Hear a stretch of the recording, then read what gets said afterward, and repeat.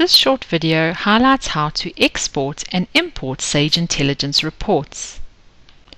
To export a report, open the Sage Intelligence Report Manager.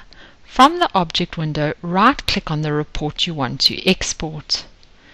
Select Export Report from the drop-down menu. You can now save the exported report to a desired folder on your computer. Select Save. You will get a message to confirm your export succeeded and instructions on how to import the report. Select OK. You now have the ability to send this report to another user who will then be able to import it into their Sage Intelligence Report Manager.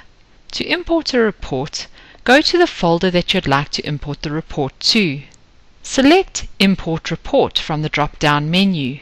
Select the report to be imported and select Open. In the Import Report window, you can change the name of the newly imported report. You can also select the target connection that you'd like to import the report against.